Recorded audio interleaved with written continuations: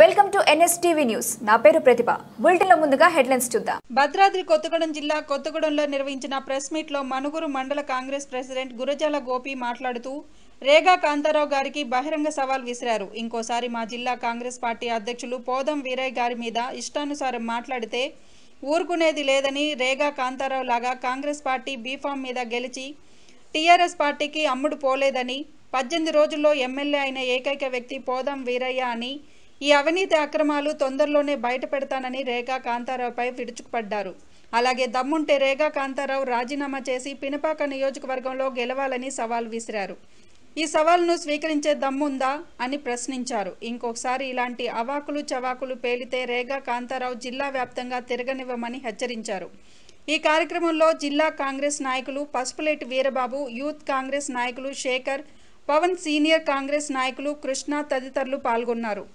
పరిచయం లేని కాన్ఫరెన్స్లో అధిక మెజార్టీతోని అల్లారుముద్దుగా గెలిచిన వ్యక్తి ఆయన చిరునవ్వుతోని ఆయన మంచితనం జిల్లాలో ఏంటన్నది జిల్లా ప్రజలకు అందరికీ తెలుసు. నీతిరిగా డబ్బుకు అమ్ముడు పోయో లేకుంటే నీతిరిగా ఉసుక దందాలు భూదందాలు కాంట్రాక్టర్లు అవినీతికి పాల్పడ్డ వ్యక్తి కాదు. ఈ రోజు ఒక నిరుపేద కుటుంబం నుంచి వచ్చిన వ్యక్తి మూడు సార్లు ఎమ్మెల్యే అయ్యి కాంగ్రెస్ పార్టీకి కట్టుబడి ఉన్నాడు తప్ప ఎటువంటి అవినీతికి డబ్బుకు అమ్ముడుపోని వ్యక్తిని పట్టుకొని నువ్వు అవాకులు చెవాకులు వెళ్తే నిన్ను జిల్లా వ్యాప్తంగా తిరగనీయకుండా అడ్డుకుంటాం.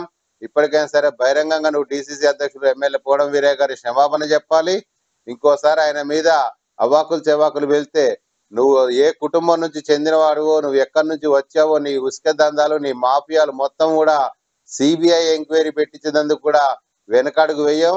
ఈ విషయాన్ని అధిష్టానం దృష్టికి తీసుకెళ్ళి నీ ఆస్తుల మీద నీ నీకు సంపాదనల మీద మొత్తం మీద నీ దందాల మీద సిబిఐ ఎంక్వైరీ తొందరలో పెట్టించే ఏర్పాటు చేస్తాం. ఇక కొద్ది రోజులు మీ దుకాణం చదువుకునే పరిస్థితి దగ్గరలోకి వచ్చింది. నీకు నీ పార్టీ అధినేతలకు ఇక ఇంటికాడ మీరు రామగిరి భజనా చేసుకోవడమే తప్ప ఇక మీరు రాజకీయ లైఫ్ అయిపోయింది కాబట్టి ఇంకోసారి మా డీసీసీ గారిని విమర్శిస్తే కబర్దారు. ఈసారి చెప్తున్నాం నీకు ధైర్యం ఉంటే రాజీనామా చేసి ఇప్పుడు గెలు. నీకు మేము సవాల్ ఇసురుతున్నాం నీ ధైర్యం ఉంటే ఇప్పుడు రాజీనామా చేసి ఇదే పిరపాక కాన్స్టిట్యూన్సీ మీద నువ్వు గెలిచి చూపియాలని చెప్పేసి అని మేము ఛాలెంజ్ ఇస్తున్నాం నీ ధైర్యం ఉంటే సవాళ్ళకు స్వీకరించామని చెప్పేసి అని కూడా హెచ్చరిస్తున్నాం. ఇంకోసారి మా డీసీసీ గారిని ఏమన్నా అవాకులు తెవాకులు పేలిస్తే మాత్రం నిన్ను జిల్లా వ్యాప్తంగా అడ్డుకుంటామని చెప్పేసి అని కాంగ్రెస్ పార్టీ తరఫున హెచ్చరిస్తున్నాం.